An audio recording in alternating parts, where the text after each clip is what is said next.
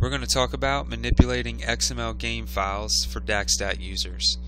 So we're going to find the file we need to manipulate, right click it, and click Edit with Notepad++.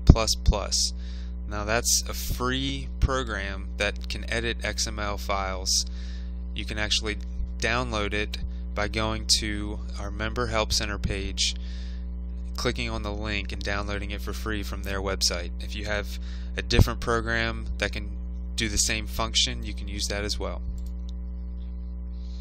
So now that we've got it open, we're going to hit Control F and we're going to look for Campbellsville.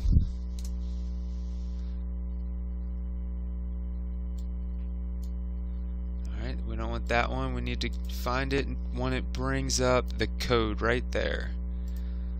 So the code 309 is not the proper coding system. So what we want to do, we want to go to our list of school codes. And we can see Campbellsville is 500785. Bring this back up. 500785.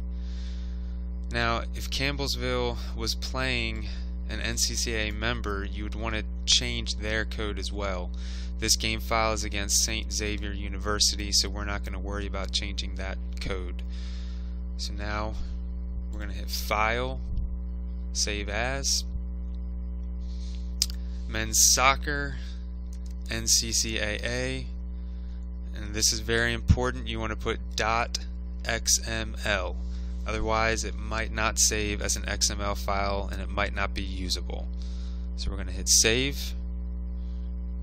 Open this back up. It's an XML document. You now have a file you can use to upload to the NCCAA website. Be sure to head to the NCCAA Member Help Center for more helpful videos.